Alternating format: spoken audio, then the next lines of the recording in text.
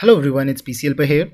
In today's video, I'm going to show you how to fix sound issues for the game Mass Effect Legendary Edition. So a lot of users have been complaining about this problem that there is no sound in the game and some are complaining that they hear a crackling sound while playing this game. So in this video, I'm going to show you how to fix this in only two steps. So just watch both of these steps very carefully and perform them one by one. And if by any chance your problem is not fixed, then you can write in the comment section and I'll find some more ways to fix it. Also make sure your graphic card has the latest drivers as this might also fix this problem. But if your drivers are updated and you're still facing this problem then this video will most probably help you. Lastly, if you haven't subscribed to my channel yet, then you can subscribe now for regular gaming content related to this game and many other games. And now without any further ado, let's get started. So there are only two steps to fix this problem. So the first one is the most important one and it's not an advertisement for any product or something. It is just something that fixed it for most of the users and it is really convenient to perform. So the thing is I've already made a video on Driver Booster 7. It is a software that basically updates all your drivers in one click. It scans for all the updates available and update them. So you can, if you already have some any other software, then you, you can use that software to update your drivers in one click. But the thing is that not all your drivers are updated with Windows Update or your graphic cards update because your audio drivers, display drivers, network adapters, there are many other drivers which are not updated regularly on your PC. So you can download any such software. So I recommend this software. I'll provide you the link of this video in the description. Watch this video, download this driver booster and scan for all the drivers and update your all drivers using it. Once you have done it, you have to go to this tools option in this software. And as you can see, if I'll zoom, you can you'll be able to see that there's an option to fix no sound. You just have to click on it and if your PC has any problem then it will detect the problem and that then fix this issue. So just download this software. First step is really simple but the thing is for many users there are a majority of people for whom this step is not working.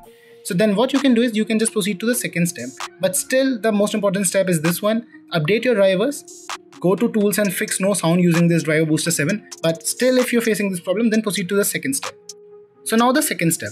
So the second step is also working for many users and it works for most of the games. So if there's any other game on your PC which has sound problem, then you can perform this step and it works for most of them.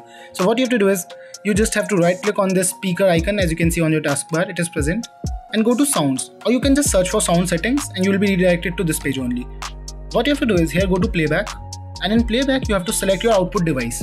So right now are my Realtek audio speakers. So just double click on it and here go to advanced and as you can see, now you just have to apply the hit and trial method. By default, there will be a bit and frequency already selected. Now you have to apply the hit and trial method that you have to select each and every possible option here one by one and see which fixes the problem for you.